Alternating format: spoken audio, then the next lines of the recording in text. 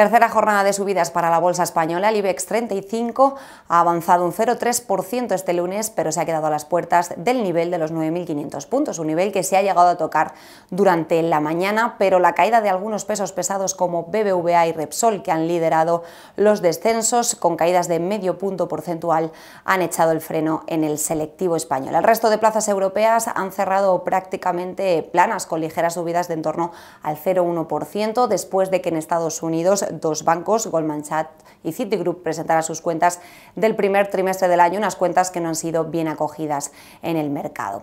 De vuelta al IBEX, el que se ha animado a la fiesta ha sido Siemens Gamesa. Sus acciones han subido más de 4 puntos porcentuales después de que Deutsche Bank haya subido su precio objetivo y también su recomendación. Otro de los valores que más ha subido durante toda la sesión ha sido Mediaset.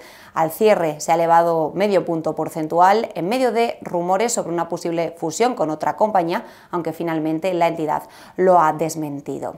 Y todo esto en el inicio de una semana marcada por la Semana Santa, una semana semifestiva, los mercados europeos no van a operar ni el viernes ni el próximo lunes de Pascua.